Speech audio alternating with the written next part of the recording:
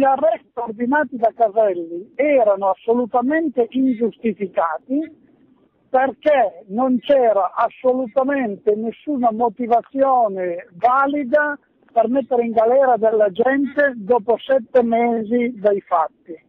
Quindi, eh, come ha detto anche molto bene il giudice eh, Livio Pipino, questi arresti non sono assolutamente giustificati. Da notare che Livio Pipino è un magistrato no? ed è anche un amico di Caselli. Quindi oltretutto ha scritto un libro con Caselli e lui ha ribadito e dimostrato che questi arresti erano, per carità, legittimi perché si possono fare, ma non erano necessari.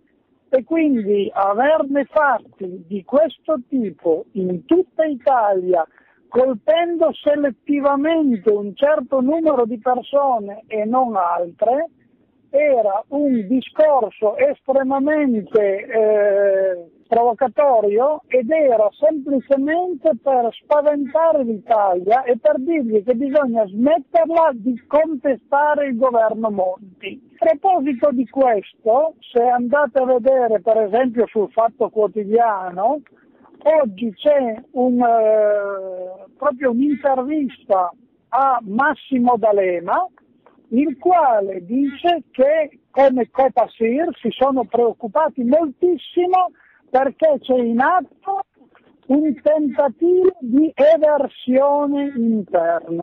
Allora, chiaramente questo è il discorso che il governo Monti, come ha detto anche il Presidente della Repubblica, non deve essere contestato, non saranno tollerate delle contestazioni al governo, ha detto eh, Napolitano. Credo che più che nei confronti dei Notav sia un'azione repressiva nei confronti dell'Italia intera e sia un'azione repressiva contro chi non accetta questo stato di cose, chi non accetta questo governo dei tecnici. Siccome i Notava erano un po' il segnale, diciamo, la speranza, il faro in Italia di chi contestava, ovviamente si è, ci si è attaccati ai Notava.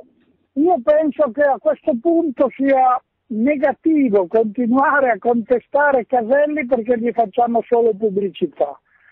Cioè, credo che abbiamo fatto più pubblicità noi a Caselli che se avesse potuto andarsi a fare le sue chiacchierate all'interno delle librerie Feltrinelli. Ecco. Poi io a Caselli una serie di domande a cui sicuramente lui non mi risponderebbe, avrei, avrei bisogno di fargliele, ma eh, ci sarà il tempo anche per questo. Ecco.